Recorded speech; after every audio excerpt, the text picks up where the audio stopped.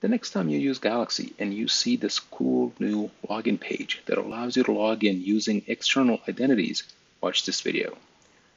If you already have a username and password based account on this Galaxy server and decide it would be more convenient to log in using an external identity such as Google, it is important to first associate your existing username and, base, username and password based account with the external identity you would like to use in the future.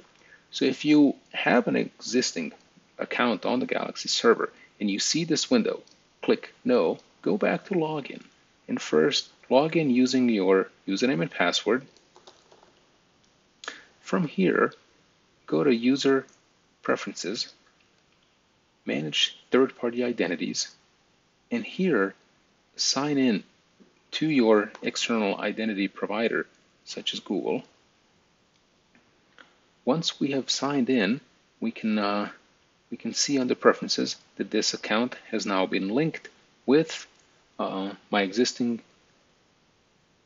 Galaxy account and the same data that exists uh, existed under that account continues to be available. From here on, if I log out and access Galaxy in the future, I can log in using the external identity that I've linked before, so Google in this case, and my data remains the same and my account is the same one as the one I've had before.